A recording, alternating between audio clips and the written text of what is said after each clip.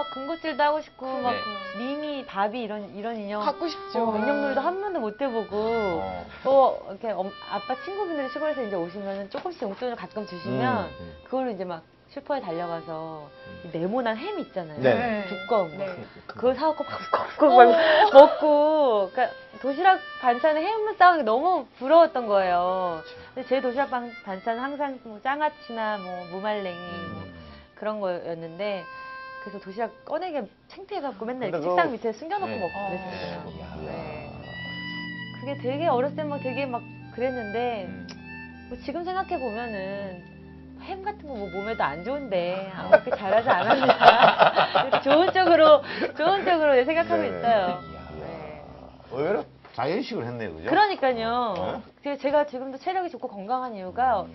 한참 성장기 때 자연식을 했기 때문이 아닐까 어. 그런 생각이 들긴 하더라고요. 어, 오히려. 네. 어, 충분히 그럴 수 있어요. 네. 뭐 새, 새옷 이런 거는 아, 뭐 세우는 상상 뭐 못했어요. 언니가 이제 둘이나 있으니까 네. 무조건 이제 언니 언니 옷을 옷. 물려 있는 거죠. 근데 엄마는 좀 아빠보다는 이렇게 많이 해주고 싶어 하셨어요. 근데 아빠 눈치가 보이니까 못 해주시다가 어느 날 이렇게 나비가 그려있는 노란 원피스가 아직도 기억이 나는데 그거를 한 번 엄마가 아빠 몰래 생활비를 어떻게 이렇게 해셨나 봐요. 어. 그래서 진짜 그 100원, 내 생각에 10원씩, 20원씩 이렇게 하셨을 것 같아요. 네. 몇천 원도 아니고. 음. 그거를 모아가지고 노란 원피스를 하나 사왔는데 아빠 안 볼 때만 입으라고 벽장 속에 넣어놓고서 몰래 몰래 꺼내 입고.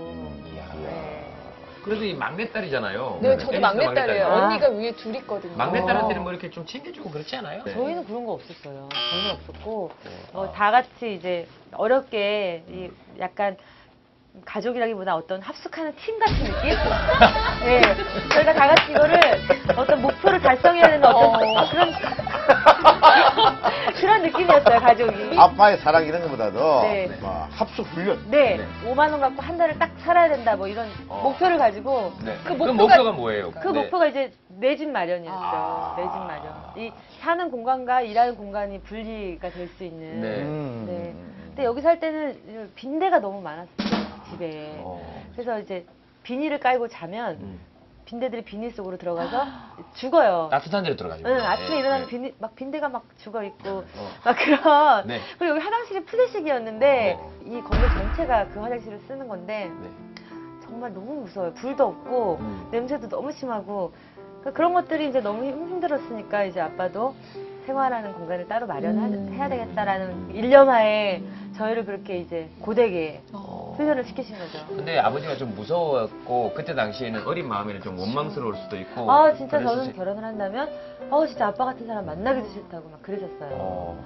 그냥 다른 애들은 혼날 일이 아닌 거를 음. 저는 혼나는 거예요. 아, 뭐 예를 들어서 세수할 때 비누를 두 번, 비누칠을 두 번 한다든지, 뭐 수건을 두 번 쓴다든지, 밥을 더 먹는다든지, 밥을 더 이런 거. 안 먹어서 세상에. 안 먹어서 나는 문제인데. 참, 다른 애들은 밥을 안 먹는다고 막, 막 달래가 쫓아다니면서 그러니까요. 먹이잖아요. 그렇죠. 우리 뭔가 사랑하지 않는 건가? 그러니까 지금- 그런 생각 많이 했어요. 아버님 안 만납니까?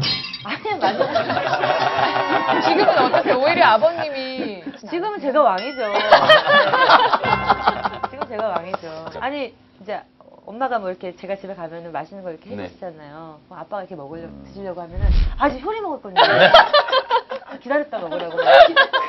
그러시고 제가 부모님이랑 같이 살 때는 저 잘 때는 막 TV도 안 켜세요. 어. 소리 날까봐. 어. 그래서 저희가 그 음했던 그 아버님께서 오늘 우연히 여기 이발소 근처에 놀러 오셨대요. 아 정말요? 네, 제가 한번 가서 모시고 네. 모시도록 어, 하겠습니다. 우리 아빠 방송 출연한 거 되게 좋아하시는 아, 좋아요? 그래서 아마 오신 걸 거예요. 아이고. 아, 아버님 들으십니다. 야, 예, 예, 안녕하세요. 야.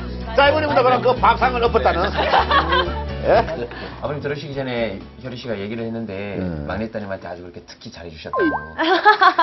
뭐 자기 아, 아들 딸한테 뭐 잘못하는 사람이 부모가 어디 있겠어요? 뭐 근데 저- 특별하게 잘한 건 없지만 아버님 그 네. 밥상을, 밥상을- 그러니까. 밥상을 왜 이렇게 자꾸 자주 이렇게 하셨어요? 아 이제 그때 이제 애들은 여럿인데다가 이제 이 짜증이 나고 막이 짜증이 나고 막 어렵다니까 뭐 이제 스트레스 푸느라고 내가 아니, 아니, 스트레스 풀면 혼자서 푸시지. 왜, 이게 정말 애기, 애기들 아닙니까? 어, 아버지가 이렇게 엄하다는 걸 보이기 위해서 아, 아버지 느끼 엄하다. 아, 그래도 술 드시고는 이렇게 옷도 한 번씩 사다 주시고 아버님 그러셨다던데.